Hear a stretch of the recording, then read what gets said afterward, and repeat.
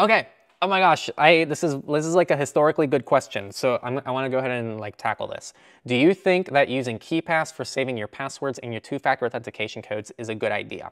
So um, this is a question that's come up a lot um, over the years, and I kind of evolved my opinions over time, but I think overall it's overall stayed the same. So really the question here, here is, should you store your multi-factor authentication codes inside of your password manager where your passwords exist? I'm gonna give you some pros. The pros, obviously convenience. Um, two, you're still getting a lot of security, right? Because the main reason we have multi-factor, like the, the main attack that we see out in the wild is there's a data breach and they leak your password. And, you know, people are going to go on, they're going to get your email, they're going to get the leaked password, they're going to put it in, and they're going to get into your account. If you have MFA set up, they're going to go, oh crap, there's MFA, can't get in. You, you can still do that. You have the same amount of protection whether or not your MFA is in your password manager.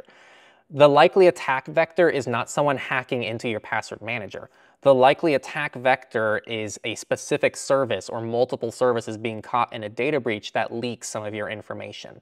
This is why it's very important to use strong, unique passwords, and that's what a password manager comes in. And it's also why it's good to have multi-factor authentication, even if it's in your password manager, because then if there is any of that leakage, then they still won't get access into the account.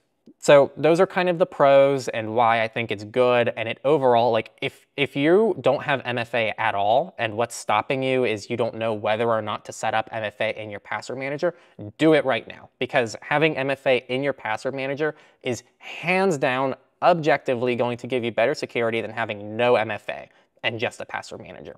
So I already want to start with that. In terms of cons, I think this is very obvious and it's why people ask the question. You have everything in one place.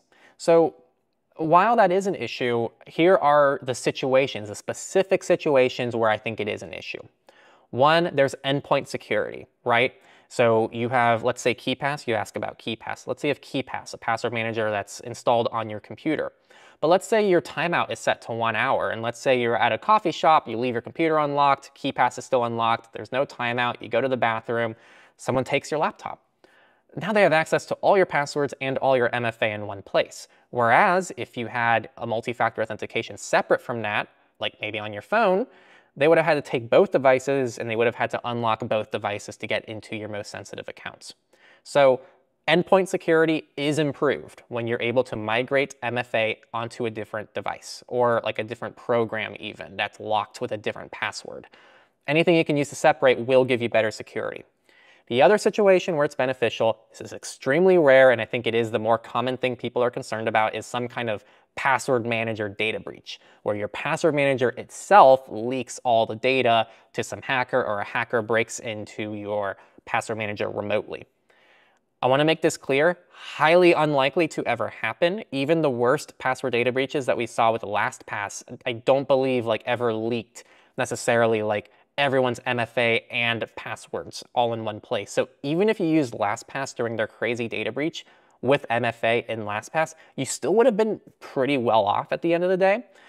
But I still don't recommend it if that's your main concern. So this is always going to come back to being a threat model question.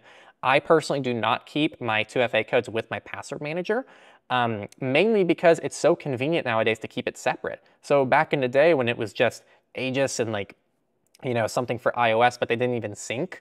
Um, it was hard to do that. And back then I was more open to saying like, yeah, just keep it in your password manager because it's far more convenient. But I'm gonna be real, like I'm using Proton Pass and Ente Auth right now, and the convenience factor isn't that different. Like Ente Auth has cloud syncing, so it can be on all of my devices. It's a really clean interface, super clean to use. And Proton Pass you know, I've already made my thoughts clear. I think it's a wonderful password manager, super efficient, super convenient. And yes, technically, like it would save me a few seconds maybe, like each time I'm logging in uh, via Proton Pass because it would auto fill in the TOTP code. But like, it's not that inconvenient. So um, pretty much, I think that if you're able to do it and you're willing to try a different service, give it a shot. I actually think that we're getting to a place now where it's pretty easy and not that big of a deal for me to re recommend keeping them separate, mostly because of Ente Auth and 2FAS and all these services that are making TOTP both open and easy to use and still secure. So those are my thoughts. Kind of ranty. Either way, do not just not enable MFA because you're concerned about the password manager thing. Um, at minimum, just put in your password manager if that's what's holding you back. Otherwise, if you want to be better, um, move it to its own dedicated place.